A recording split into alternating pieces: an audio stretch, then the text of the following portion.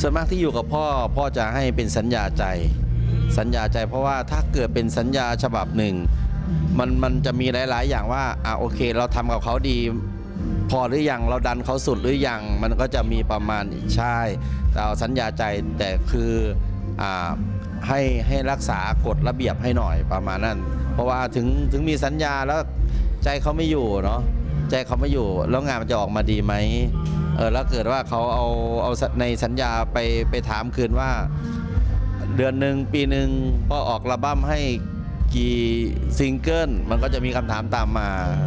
ระหว่างสัญญาใจที่กำลังดำเนินการอยู่เนี้ค่ะ มันต้องมีความเสี่ยงอะไรบ้างครับพ่อค่ะก็ความเสี่ยงมันมันก็มีอยู่เพราะว่าคือเราก็ไม่รู้ใจเขาเนาะ บางครั้งก็รักกันอยู่วันนี้คือบางครั้ง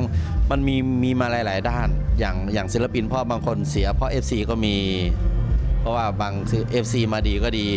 FC คอยมายุยง ให้แตกแยกก็มีอย่างเงี้ยก็คือส่วนมากของพ่อก็จะมามาลา บางคนก็บอกล่วงหน้า แต่บางคนก็ลาอยู่แต่ก็คือแบบกระทันหันเกินไปก็มีเออเราก็จะถามหาเหตุผลก่อน แต่ถ้า มันเป็นการทะเลาะหรืออะไรเราก็สามารถที่จะเรียกมาพูดมาคุยกัน แต่ถ้าคุณจะไปทำธุรกิจหรือมีอะไรที่มันคิดว่ามันมันต้องไปถ้าไม่ไปมันจะเสียจังหวะเสียโอกาสเออนั้น เราก็ค่อยมาว่ากัน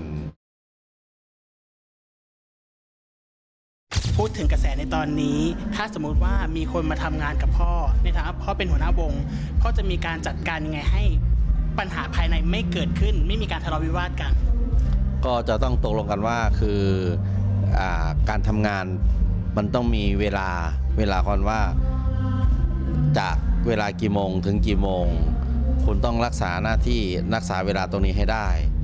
แต่ถ้าวันไหนที่คิดว่ามันจำเป็นจริง ๆ เออก็ขอขอให้แจ้งล่วงหน้า เราก็จะได้บอกกับ FC บอกกับอ่าเจ้าภาพได้ถูกประมาณนั้นอะ ราวๆเนี้ยค่ะพ่อมันเกิดขึ้นในวงของพ่อไหมคะมันก็มีนะ ก็มีเพราะว่าคือบางคนก็มีงานนอกองานนอกเราก็ให้แบบว่ามันก็คือเป็นรายได้ของเขาแต่เพียงแต่ว่าเราบอกว่าอยากให้มันกระทบกับวง แต่บังเอิญมันมีกระทบบ้างกระทบบ้างเราก็ให้เขาปรับทีนี้ก็ปรับเปลี่ยนเวลาเวลาเดินทาง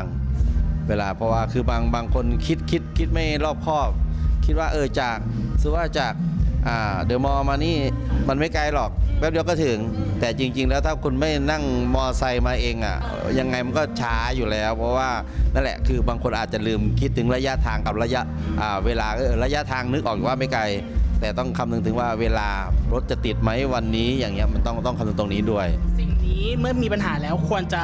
หันหน้าเข้าหากันหรือว่าพูดคุยกันถูกไหมคะอันนี้แน่นอนอยู่แล้วครับ ไม่ว่าปัญหาทุกอย่างทุกด้านทุกวงการทุกหน่วยงาน ถ้ามีปัญหาปัญหาเราต้องมาคุยมาถกกันก่อนว่า มันจะสามารถปรับได้ไหมแก้ได้ไหมเออถ้าปรับได้แก้ได้เออเราก็ปรับเข้าหากัน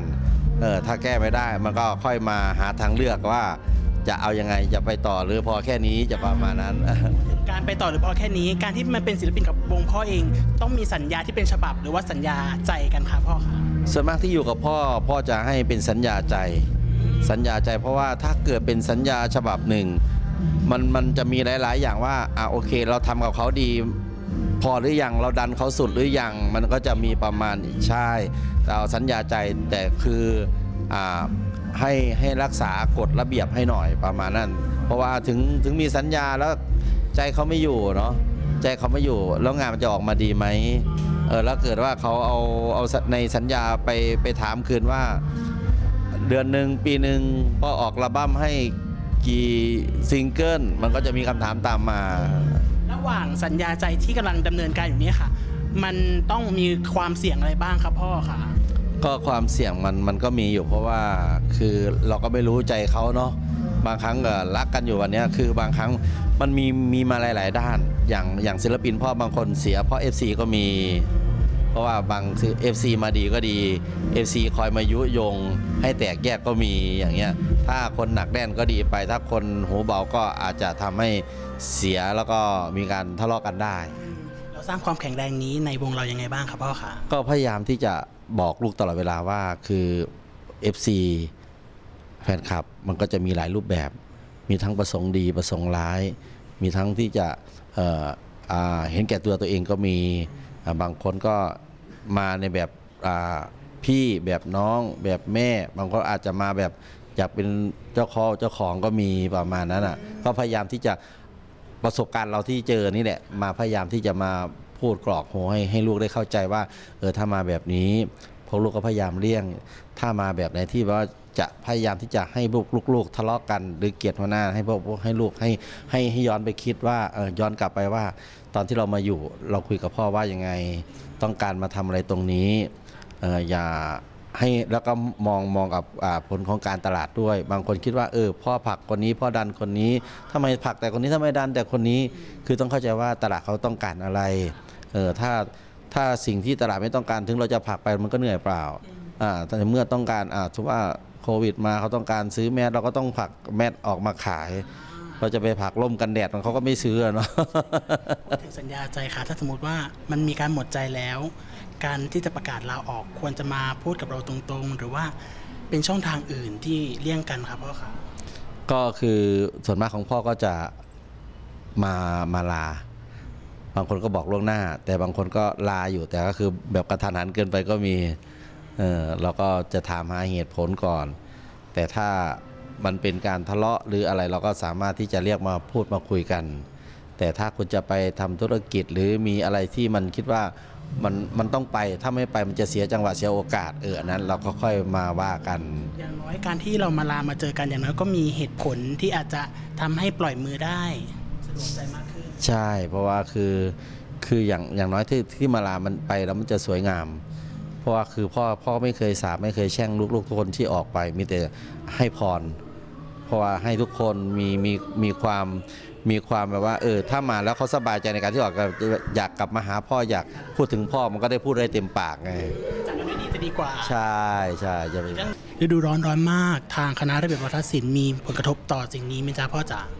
เป็นเป็นอะไรที่แบบ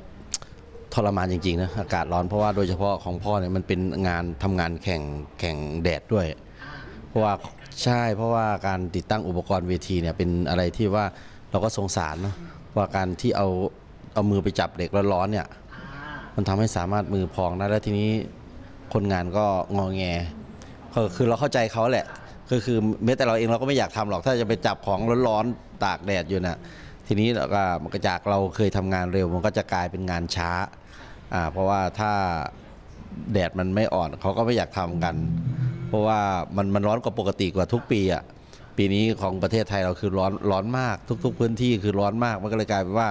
อะก็เข้าใจเขาแหละก็คือก็เจ้าภาพเขาก็โอเคอยู่เจ้าภาพว่าเขาก็เข้าใจหมอลำด้วยยังไงจ๊ะแต่ลมลมๆตกแล้วค่อยแบบใช่ก็คือเล่นเล่นเลทนิดนึงก็ได้ประมาณนั้นอะครับ วิธีแก้ของทีมงาน และส่วนนักแสดงอะค่ะพ่อที่แบบมันร้อนมากๆเลย ได้มีการซื้อแอร์ซื้อพัดลมอะไรอย่างงี้มาเพิ่มเติมไหมจ๊ะครับอย่างศิลปินนักแสดงของเราไม่ว่าจะเป็นแดนเซอร์ หรือศิลปินที่นั่งไปกับรถบัสเราก็ติดแอร์บนรถบัสให้ครับ แต่คือเราจะเปิดเฉพาะตอนที่ไปถึงเวทเอ่อไปถึงที่จอด ถึงที่จอดเราก็จะเปิดแอร์ให้เพราะว่าให้ให้เด็กได้นอนพักผ่อนเพ ราะว่าตอนรถวิ่งอยู่มันสามารถเปิดพัดลมหรือเปิดหน้าต่างวิ่งได้ครับแต่คือถ้ารถจอดเนี่ยคือบางบางครั้งมันไม่มีสาราวัดไม่มีอาคารเรียนไม่มีอ่าสถานที่ให้เด็กได้ไปพักผ่อน เราก็ต้องอ่าสตาร์ทเครื่องอ่าเปิดแอร์ให้ให้เด็กได้นอนบนรถกันอันนี้คือบนรถและทีนี้ตอนที่เตรียมที่จะแสดงมาแต่งหน้าแต่งอะไร เด็กๆเขาใช้พัดลมอะไรยังไงจากที่ไหนจ๊ะพ่อมันก็มีบางคนก็เพราะว่ามันจะเป็นเต็นท์แม่ค้าเนาะ ก็ห้องใครห้องมันประมาณนั้นมันก็สามารถที่จะสามารถซื้อแอร์เคลื่อนที่ได้ ทีนี้ก็ ตอนนั้นพ่อไปนับดูก็ก็เกือบ 50 ตัวอยู่นะ อ๋อคนซื้อมาเองใช่ไหมจ๊ะซื้อมาเองอ่าเต็นท์ใครเต็นท์มัน แล้วก็เปิดแล้วก็บางทีเราก็อยากห้าม แต่บางทีเราก็เข้าใจเขาว่าเขาทำงานแบบว่ามันมันต้องเต้นมันต้องแสดงมันต้องเหงื่อออกมันต้องร้อน ทีนี้เข้าไปเย็นๆมันก็จะสบายตัวหน่อยประมาณเนี้ย เราก็พยายามเข้าใจเขานั่นแหละ แต่มันก็ยังมีผลกระทบกับวงอยู่ เกี่ยวกับเรื่องค่าใช้จ่ายที่เกี่ยวกับเครื่องปั่นไฟด้วยไหมจ๊ะพ่อจ๊ะอันนี้แน่นอนครับค่าใช้จ่ายต้องเพิ่ม เพราะว่าหนึ่งการที่เราเครื่องมันทำงานหนัก เครื่องทำงานหนัก มันก็ต้องกินน้ำมันและทีนี้สายไฟเราจะใช้สายอ่อนก็ไม่ได้ ใช้สายอ่อนมันก็จะทำให้แบบว่าเปื่อยแล้วก็อาร์คได้ช็อตเกิดความเสียหายได้เราก็ต้องเปลี่ยนสายไฟแล้วก็น้ำมันเราก็ต้องเติมเติมเติมเยอะกว่าเดิมอีกประมาณเนี้ยป กก็มีการใช้ไฟเพิ่มขึ้นเนาะใช่แล้วนอกจากที่เราต้องทำใจกับราคาที่แบบมันเพิ่มมากขึ้น เราต้องมีการรับมือสิ่งนี้ยังไง มีการเรียกร้องค่าตัวเพิ่มไหมหรือว่ายังไงจะพ่อจ๋า อันนี้เราก็ไม่อยากไปให้เจ้าภาพเขาเดือดร้อนด้วยหรอก เพราะว่าอ่ามันเป็นเป็นภาระของเราที่เราจะต้องดูแลบุคลากรหรือลูกน้องเรา เราก็ยอมที่จะอ่าพวกกระเป๋าตัวเองนี่แหละคืออาจจากจากที่อาจจะได้กำไรสมมติเนาะ ได้คืนละพันอ่าเราก็เหลือเหลือลงมา 500 ประมาณนั้นอะ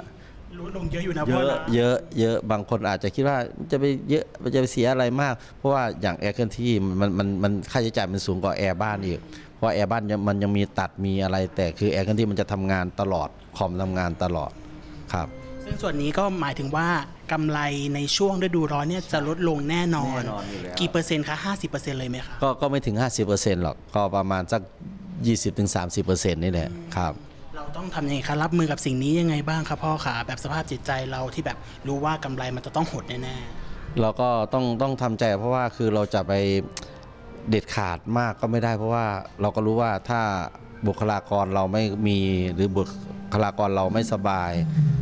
ผลงานเราก็มันก็ไม่แน่น มันก็ไม่ดี แล้วก็งานตามมามันก็อาจจะน้อยลงเราก็เอาโอเค มันก็เหมือนการลงทุนนั่นแหละครับ ลูกๆเป็นหลัก ใช่ ติดตามข่าวบันเทิงได้ที่นายตะเทนทุกช่องทาง กดไลค์กดแชร์ด้วยเนาะ